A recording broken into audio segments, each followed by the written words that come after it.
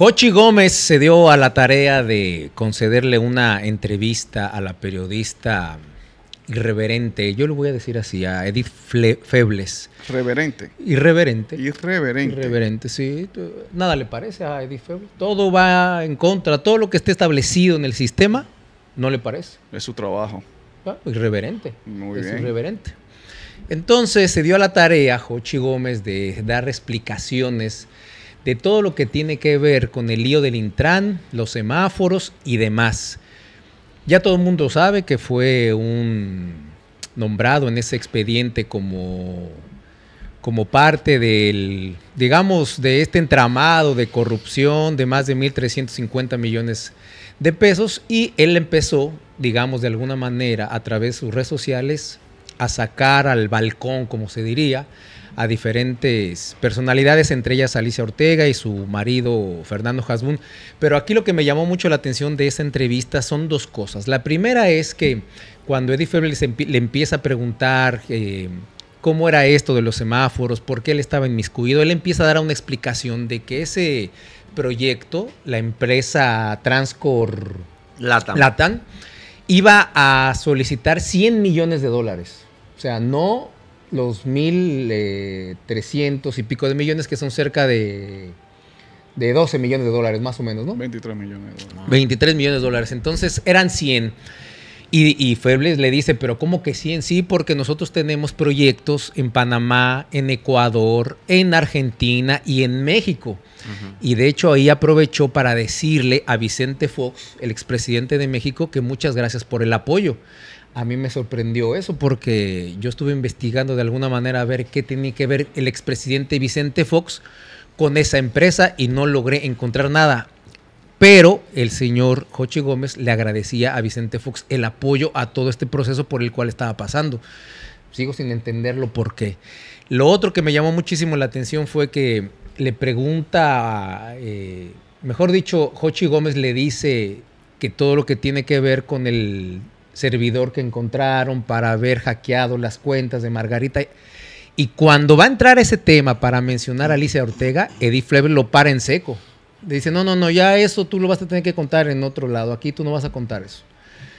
¿Por qué no, eh, digamos, eh, profundizar en el tema de Fernando y de Alicia? ¿Será porque también Edith en algún momento perteneció al equipo de ESN, sí, son claro. amigos, son, se sí, van a sí, proteger. Ella, ella, ella no, no, no, sé si es proteger. Yo creo que Alicia Ortega, eh, perdón, Edith Febles, como trabajó bastante tiempo en el grupo SIN, creo que debe tiene algún tipo de relación, de amistad, sobre todo una relación laboral. Pero no se supone que fue, que fue de mucho, proteger, que fue de exacto, mucho respeto. Pero no se supone que Edith Febles es una periodista distinta, no, que lucha por la verdad, que lucha no, por la transparencia, que es anticorrupta, que es anti todo del no, sistema. No, no es que anti todo. Ella, ella tiene como todo, como, como toda persona que va construyendo éxito y más en los medios va generando islas de interés.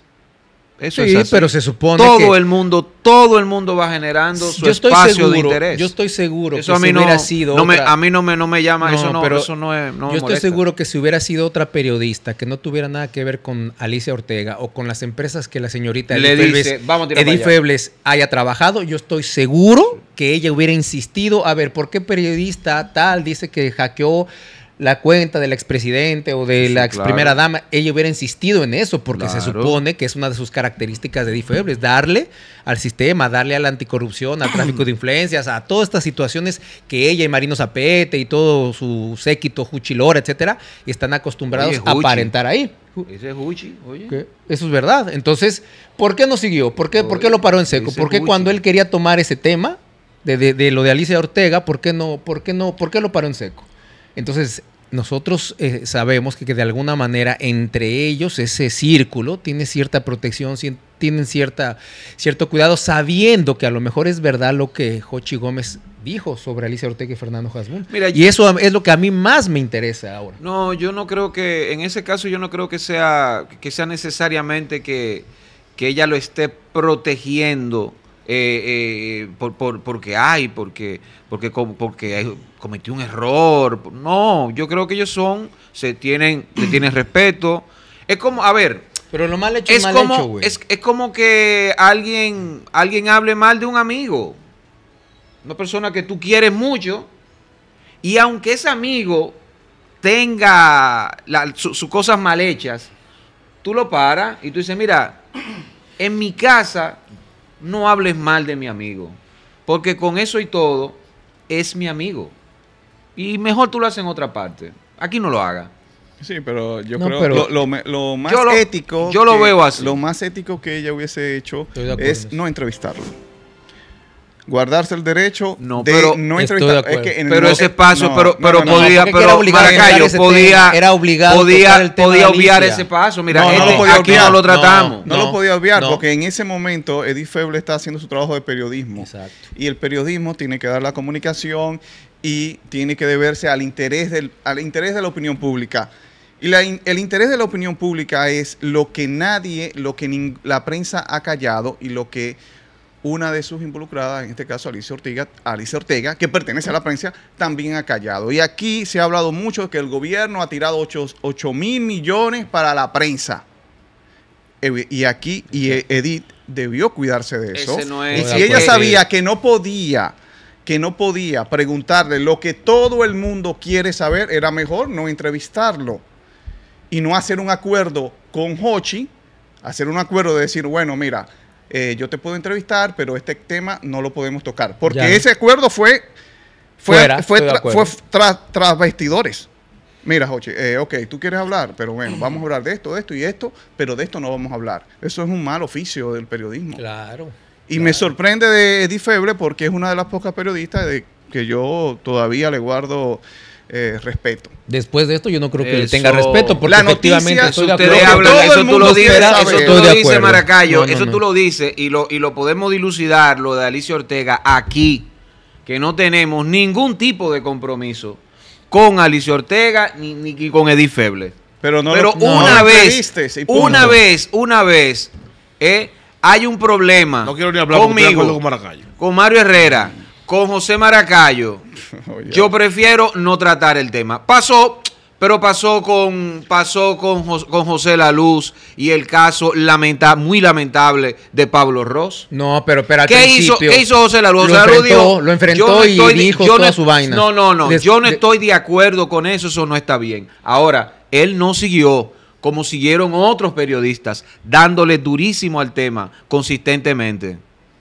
Eso hizo José La Luz. Yo lo vi en su porque él iba a su programa. Sí, pero iba, iba a su programa. sí, pero yo ahí, yo ahí, Ay, óyeme. yo ahí, ya, no estoy de acuerdo Edwin. con eso, eso no está bien, pero ya, Oye, Edwin, oye mi posición, mírame. Ahí, ahí yo eh, estoy de acuerdo con Maracayo en ese punto. Edith Feble es comunicadora, periodista. Y ha, y, y ha creado no, su, su perfil, su performance en la comunicación, tratando tajantemente todos los temas, expresando transparentemente cada punto que sale a la luz de un tema que ya está tra- tocando. Si ella tiene la sensibilidad de que ese tema, que ahora se destapa y estalla, con un involucramiento directo de, de Alicia Ortega y Hasbun, y ella no está dispuesta a ventilar eso en su medio, ella no debió llevar a Jochi Gómez para entrevistarlo. Porque pareciera que se está prestando a una burda manipulación, donde se trata el, donde el tema, a través de su medio, explote dejando fuera a Alicia. Y cuando frena eso así directamente a Hochi, lo que está dando, eh, eh, haciéndole ese daño a ella y a su ejercicio periodístico. Estoy de acuerdo. Entonces, o tú no lo entrevistas, o lo entrevistas y tú lo dejas fluir y después tú puedes conducir haciendo más preguntas de estos temas.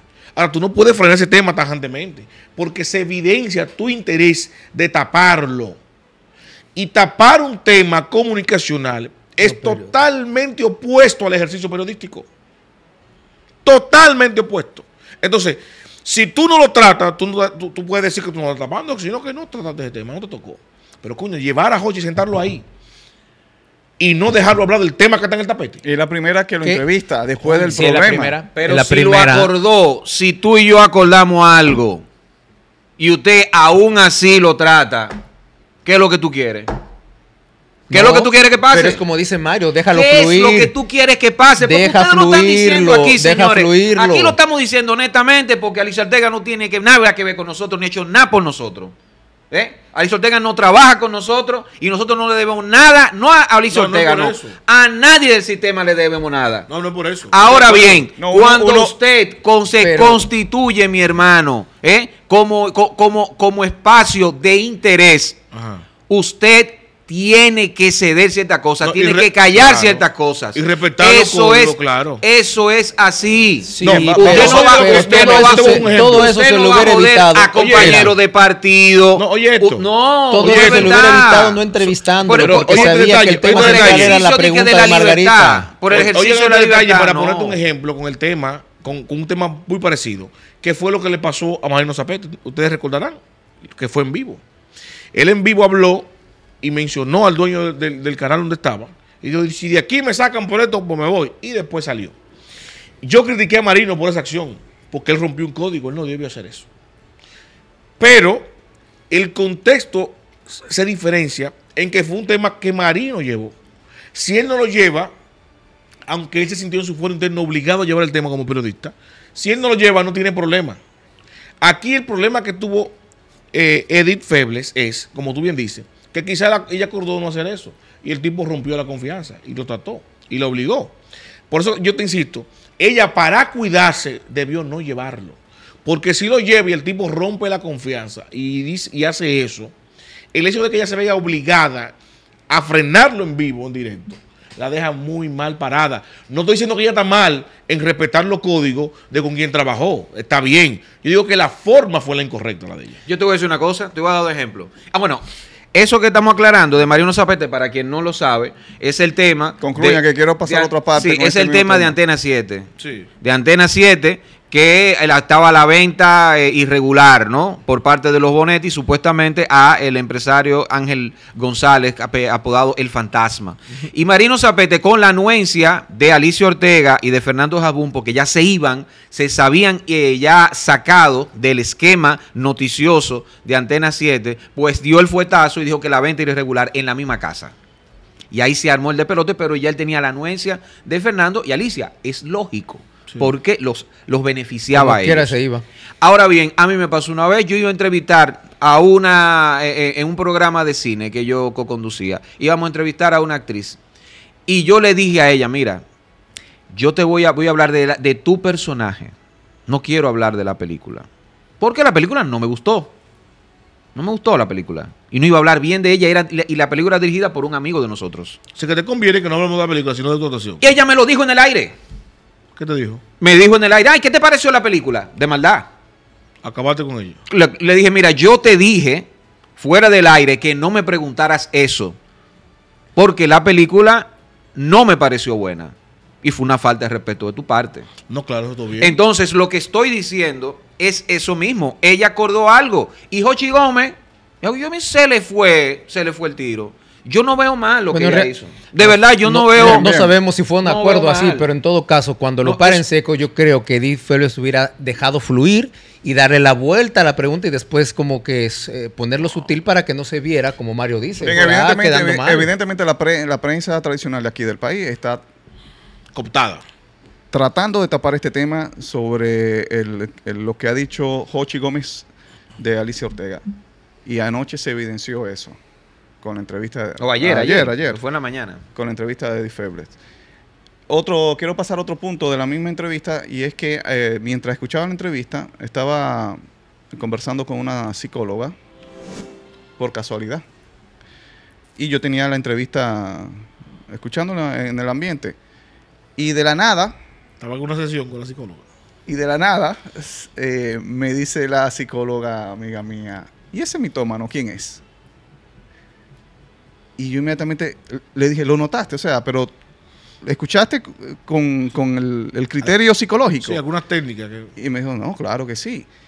Y e- era en la parte donde eh, Jochi Gómez estaba explayado, hablando de sus amigos, de sus relaciones, de lo que dijo el charro que tenía en el que tenía en el mercado de Panamá, eh, en México. Señores, estamos hablando de México, un mercado grandísimo. Ecuador, Y Ecuador, Argentina. que ya está, oye eso, Argentina, y que ya estaba a punto de entrar, escuchen bien, al mercado de Brasil. Por Dios. Y hizo alarde de su cercanía, de su cercanía con Steve eh, Bosnia, cofundador de Apple, Ah, que, ya- y que lo había llegó, asesorado y felicitado por el proyecto. Y también que estaba ya a punto de firmar un acuerdo y le pidió excu- excusa a Google por eh, revelar a esto. ¿no? No, no debería revelarlo, pero yo estoy a punto de firmar. Yo estoy a punto, a punto de firmar Gu- con Google. O sea que él, él, él y Bella Uh, consumen lo- el mismo medicamento. Wow. Estamos hablando de un señor que tiene 38 años. 38 años.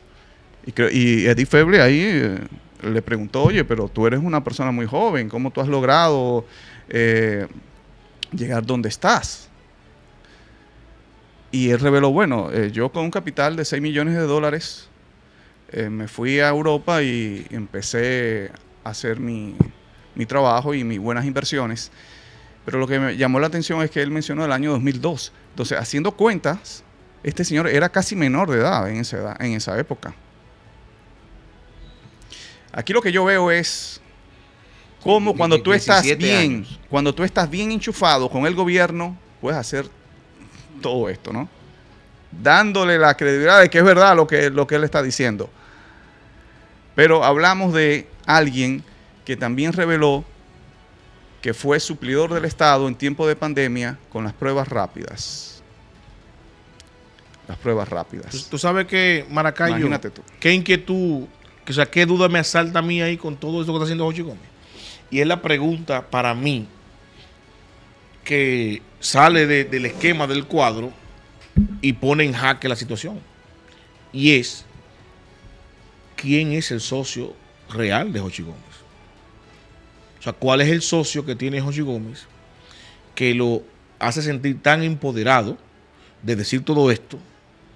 que lo hace sentir tan empoderado de saber de que eso no va a trascender, tan empoderado de que evidentemente se está manejando esa situación para que esta información no pase de ahí mediáticamente y que no haya un- una persecución legal. Fíjate, yo dije aquí que el hecho de que Carlos Pimentel, ¿verdad? sancionara ese contrato para eliminarlo, es para eliminar esa traba burocrática de que haya un- una evidencia física de un dolo. Si tú cancelas el contrato y devuelves el dinero, entonces no se ejecutó. Y puede haber una sanción civil o administrativa, más no penal. Y eso evidentemente comulga con tapar lo que está pasando. Entonces, ¿tiene Jochi Gómez el poderío en este país para hacer algo así? Yo no lo creo.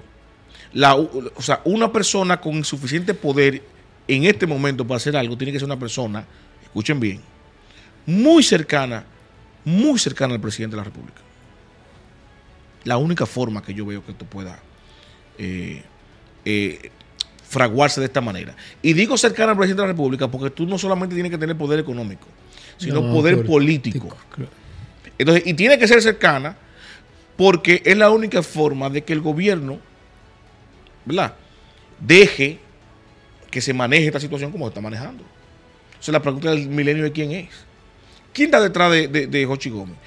Que explotó este lío con el Intran, ¿verdad? Y se está manejando de forma tal que Hugo, que es el responsable o la cara visible de la institución, está en su casa tranquilo. Pidió la licencia y se fue para su casa. Y Hochi, que ha sonado en toda esquina, anda libre, dando entrevistas, diciendo de todo, de todo el mundo, Y, y Carlos Pimentel barajando, barajando, barajando. barajando y no pasa nada. Entonces, ¿quién coño es el socio de Jochi Gómez? ¿Quién está detrás de esto que tiene ese poder para, para que este escándalo y este, y este show te así mediáticamente y no pase nada? Bueno, Ni se susurre, es fulano, mengano. tú tienes, tú tienes una, una, una prueba allí con el asunto de Alicia Ortega. Este señor se, despacha con todo lo que ha dicho sobre Alicia Ortega y Alicia Ortega, una periodista, tiene que callar. Silencio. El gobierno, el gobierno, el Ministerio Público ha callado también. Claro. ¿Por qué ha callado? Te, doy- te doy una pista. ¿Por qué ha callado? Por la muestra que ha soltado públicamente Jochi Gómez al decir, miren todo lo que sé de Alicia Ortega. ¿Qué no sabré de ustedes? Tiene información. Es información. Maneja la Ya por eso. O información. sea, él tiene, con eso él tiene el power para hacer el tema- no, el tema- el power, no. se sentó ahí. mira, se sentó ahí con Eddie Feble No, y le dijo, yo soy el no su- dueño, yo soy el dueño de la empresa. Aquí no Yo no soy ganante. Eso es mentira de ellos. Ellos, yo, soy el 80% dueño de la empresa. De 100%, porque el otro, el otro 20 era de que para la, la, administra- la administración, el gerente, que yo, que yo soy el dueño.